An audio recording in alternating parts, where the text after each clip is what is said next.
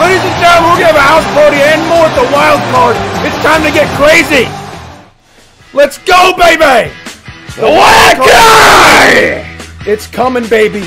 We're about to be wild. Saturday, January 6th. What Let's show matches you. do we have? in store Baskin you? Robin versus Rob Admiral, the second coming.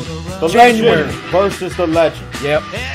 They're doing history again. Little homie versus Dub Dub in the grudge match. This is gonna be incredible as fuck.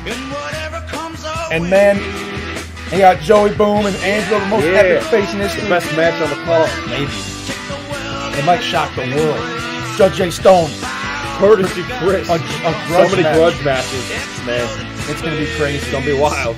Hoye Goyle's taking on Yoshihiro in a rubber match, the third match in their series. Can Hoye overcome it and win and beat Ho- Yoshihiro? Rich and Gibson are taking on Namatomo for the ABWF Tag Team Championship. Kana Kenshin, Hideki Nura, the dream match, one-on-one, wild card last stand, January 6th. My God.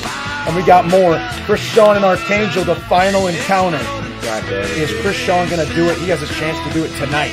Mr. Sonic is taking on Brian Damage one on one in the funeral match.